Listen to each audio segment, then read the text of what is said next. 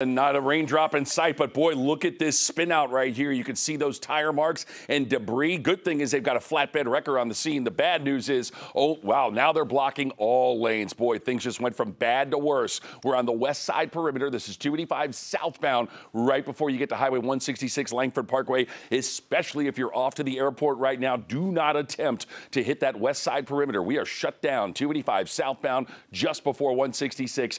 Go through downtown to get to Hartsfield. Jonathan.